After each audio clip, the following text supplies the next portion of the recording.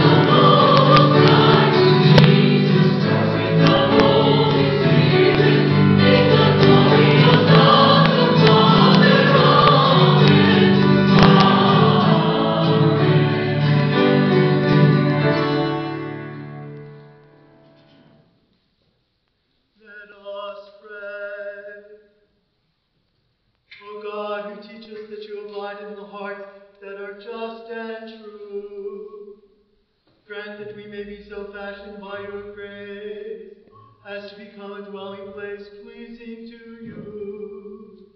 Through our Lord Jesus Christ, your Son, who lives and reigns with you in the unity of the Holy Spirit, one God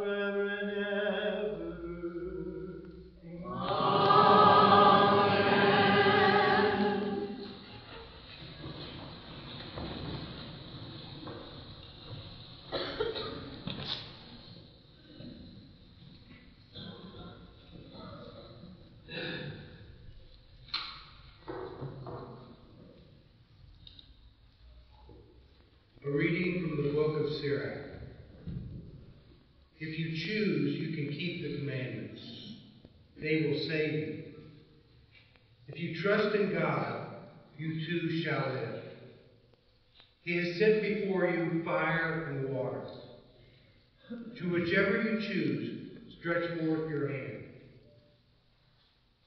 Before man are life and death, good and evil. Whichever he chooses shall be given him. Immense is the wisdom of the Lord. He is mighty in power and all seeing. The eyes of God are on those who fear him. He understands man's every deed. No one does he command to act unjustly. To none does he give license to sin. The word of the Lord.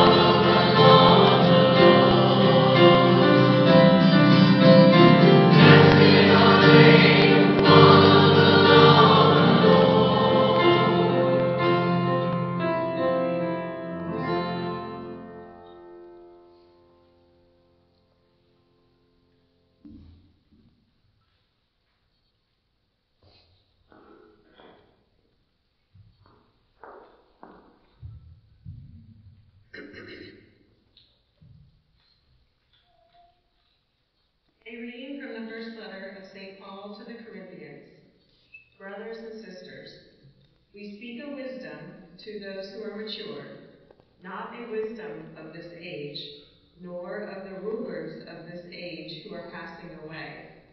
Rather, we speak God's wisdom, mysterious, hidden, which God predetermined before the ages for our glory, and which none of the rulers of this age knew. For, if they had known it, they would not have crucified the Lord of glory. But as it is written, what eye has not seen, and ear has not heard, and what has not entered the human heart, what God has prepared for those who love him, this God has revealed to us through the Spirit. For the Spirit scrutinizes everything, even the depths of God. The word of the Lord. Thanks be to God.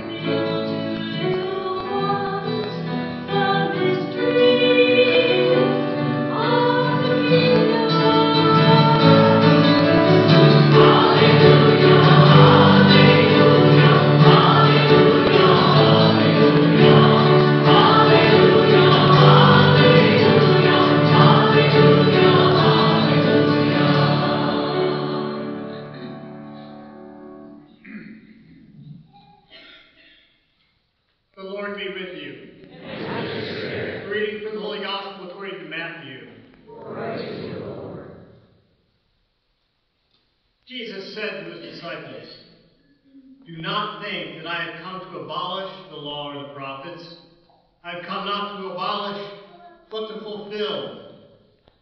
Amen, I say to you, until heaven and earth pass away, not the smallest letter or the smallest part of a letter will pass away from the law until all things have taken place. Therefore, whoever breaks one of the least of these commandments, others to do so, will be called least in the kingdom of heaven. But whoever obeys and teaches these commandments will be called greatest in the kingdom of heaven. I tell you, unless your righteousness surpasses that of the scribes and Pharisees, you will not enter the kingdom of heaven. You have heard it. You have heard that it was said to your ancestors, "You shall not kill, and whoever kills will be liable to judgment." But I say to you, whoever is angry with his brother will be liable to judgment. And whoever says to his brother, "Raqa," will be answerable to the Sanhedrin. And whoever says, "You fool," will be liable to fiery Gehenna. Therefore, if you bring your gift to the altar, and there recall that your brother has anything against you, leave your gift there at the altar and go first and be reconciled with your brother, and then come and offer your gift. Settle with your opponent quickly on the way to court. Otherwise, your opponent will hand you over to the judge, and the judge will hand you over to the guard, and you will be thrown into prison. Amen, I say to you, you will not be released until you have paid the last penny. We have heard it said that it was said, You shall not commit adultery. But I say to you, everyone who looks at a woman with lust has already committed adultery with her in his heart. If your right eye causes you to sin, tear it out and throw it away. It is better for you to lose one of your members than to have your whole body thrown into Gehenna. And if your right hand causes you to sin, cut it off and throw it away. It is better for you to lose one of your members than to have your whole body go into Gehenna. It was also said, Whoever divorces his wife must give her a bill of divorce. But I say to you, whoever divorces his wife unless the marriage is unlawful causes her to commit adultery. And whoever marries a divorced woman causes adultery. Again, you have heard it, heard that it was said to your ancestors, Do not take a false oath, but make good to the Lord in all that you vow. And I say to you, do not swear at all, not by heaven, for is God's throne, nor by the earth, for it is his footstool, nor by Jerusalem, for it is the city of the great king. Do not swear by your head, for you cannot make a single hair white or black. Let your yes mean yes, and your no mean no. Anything more is from the evil one. The Gospel of the Lord. Praise to you, Lord Jesus Christ.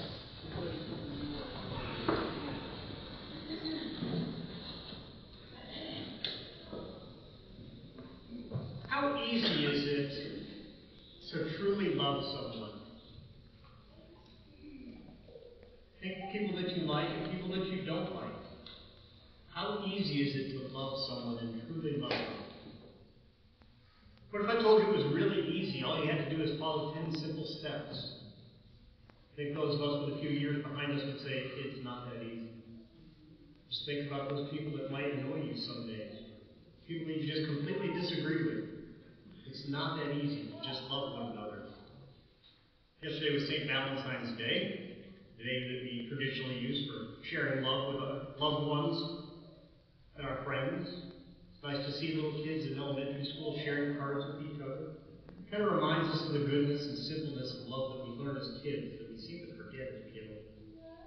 But it's also kind of a sad state of affairs when we have to be reminded to love each other.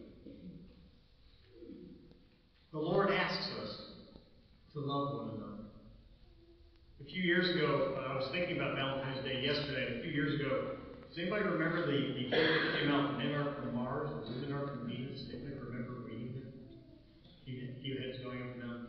So I remember a few years ago, my parents' neighbors, the, uh, the husband bought his wife this book for Valentine's Day. She got the first read through it and highlighted all the things he was doing wrong. True story. I think she missed the point of the book. It's not that easy. Loving one another is not as easy as reading a self help book. It's not as easy as a checklist. It's not as easy as purely just following the Ten Commandments. That's what Jesus is telling us. So today's reading, we have this continuation of Jesus' Sermon on the Mount. We heard the Beatitudes not too long ago. It's part of the same sermon. So what is Jesus doing? Think about the law of love that Jesus came to usher in. The first part of the law, what he talks about today in our reading today, and what he talked about in the previous readings, the law of Moses. Moses goes up on the mount, and he comes down with the rules that we were supposed to follow to be able to live with God. There were rules. Follow them, things go well. You don't follow them, things don't go well. And then he continues on, Jesus does, by saying, when he goes up to the mount, the Sermon on the Mount, he says, I have not come to replace what Moses told you. I've come to fulfill what Moses told you. You see, the Ten Commandments, it might be a little bit easier. If I asked you, how many people think you could get through the day without killing someone? I hope all of you think that's a fairly easy task. If not, you missed confession already. But on the other hand, which is easier? To say, thou shalt not kill someone, or to say love your brothers, to love your enemy? Which is easier? I think it's easier to follow the rules than it is to do what Jesus is asking us, which is to understand the Spirit. The same Spirit which wrote the law and inspired Moses to write those words down is the same Spirit that wrote the law of love on our hearts. The same Spirit which inspired the Gospels. The same Spirit which we are supposed to live out every day. It's the law of love, it's a lot harder than just following rules. So today's words, when we hear the, uh, the continuation after the Beatitudes, where Jesus says, I didn't come to remove the law, but to fulfill the law. Those words sound a little stern, don't they? There's some things in there that might make you a little uncomfortable. We know that today lust is a big problem in our society. What does Jesus say? Even if you just look lustfully at another, you've already committed adultery. That's pretty stern words for our society today. When we hear about all the ways in which we don't love each other, today's word should be a wake up call. That God calls us to much more than just not hurting one another, much more than just rules. Think about rules for a second. What do they what do they do for us? Were the Ten Commandments bad? Absolutely not. I don't know about you, but in my house growing up, we had a lot of rules. Did anybody else have rules when you were little kids? And a lot of times I didn't like those rules. Especially as a teenager. They kind of got in my way.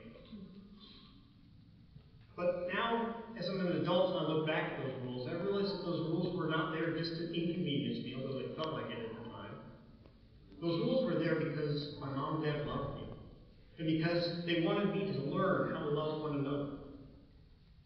So when I was a kid, for example, the chores were things like taking out the garbage and washing the dishes and cutting the lawn and those kinds of things. And I kind of say I didn't particularly appreciate doing most of those things, I did them because I was supposed to. Not because I wanted to, but because I was supposed to. But now as, we, as I've grown older, when I was a kid, taking out the garbage was a chore. Now when I go to visit my parents, I'm willing to go because I want to take out the garbage. So they don't have to walk down their lawn driveway, slip on the ice, or any of those kinds of things. You see, as we mature in our faith, those rules are no longer rules for us. We see the Spirit behind them. And that's what Jesus is trying to tell us as he unpacks the Beatitudes. He's trying to tell us it's more than just following the rules, it's loving one another and seeing the Spirit which guided us through those rules. Just as my parents shaped me growing up with our rules, the Ten Commandments and the law of Moses shaped us as a people. And now that I have to live beyond those rules and see the Spirit and how it extends to every person around me, not just my family, Jesus calls us into that kind of relationship. To love one another. Truly love one another. Truly walk and live in the Spirit of what He showed us in His life. That's what the Beatitudes are about. That's what Jesus is trying to tell us in the Sermon on the Mount. So, it's not just about the outward appearance. It's an inward conversion of heart. Why you do things is just as important as what you do. Jesus is telling us, convert our hearts. Look for the right reason for the things that we do, and the way we treat people. Our second greeting, St. Paul asks, How mature are you? That's the question Jesus is asking us through the words today. How mature are you in your faith life? Do you follow the rules of the church because you have to? Do you chafe against them like a teenager? Or do we look at the rules of the church, including the ones that might make us uncomfortable? Pretty commonly today, the rules, as I say, below the waist make a lot of people uncomfortable. But do we follow them because we have to? Or do we see the wisdom in the rules set up as love, so that the Lord shows us the way in which we should live our lives?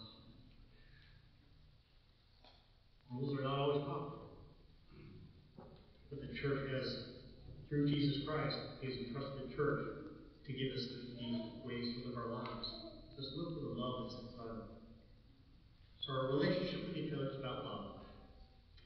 Love is hard, but it's worth it. Love is hard, but it's worth it. Loving each other will truly make our hearts hurt sometimes, cause tears to flow, but it's worth it. Loving each other means that we have to be vulnerable, risk being hurt, rejected. Love is worth it. Loving each other requires us to put aside our own desires to want the best for someone else. That sacrifice is worth it. Loving each other means that we will cast aside our resentments before we come to the Eucharist today, as we heard today in the Gospel. Reconcile before you come to the altar. As we leave here this week, let's commit truly loving each other. doing more than just following the rules, doing it for the right reasons, following the spirit of the law, not the letter of the law. What God gives us.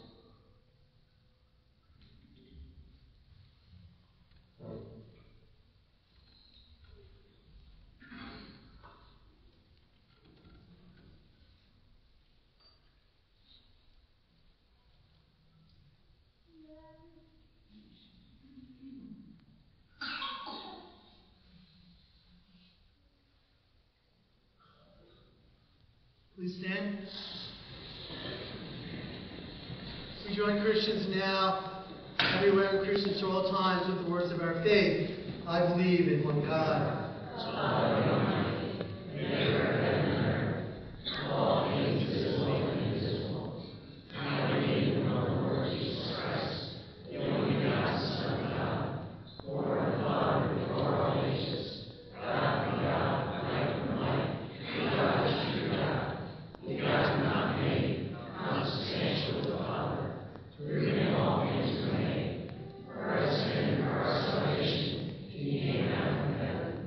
Mother of the Holy Spirit, was incarnate in the Virgin Mary. Amen.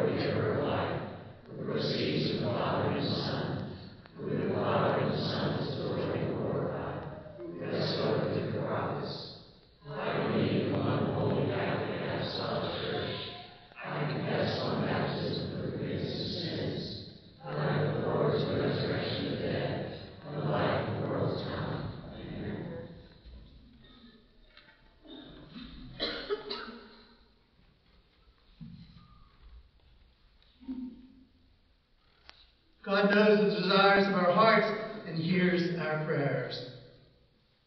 For all who shepherd the church, heeding God's will and seeking the power to carry it out, we pray to the Lord. For all who strive to observe and teach the decrees of the Lord, we pray to the Lord. For all who strive to be faithful servants, sharing the good news of the gospel, we pray to the Lord. For all who ardently search for wisdom and truth, we pray to the Lord. For all in our faith community, especially those unable to join us today at this table of grace, we pray to the Lord. Lead the departed into the light of your dwelling place, including Bernie Thompson, Dolly Krebs, Abby Franklin, Father John Rout, and Sister Alice Pretzner, that they may gaze upon you for all eternity. We pray to the Lord. For all the intentions listed in our parish book of prayer and for all the intentions we hold in the silence of our hearts, we pray to the Lord. We ask you today, in particular, to pray for Adam Beacon and his family and any of those other people who are leaving our parish this week, that they know that they go forth with our prayers, our love, and our well wishes. We pray to the Lord. God, you understand every need. Hear the prayers of your faithful gathered here today. We ask this through Christ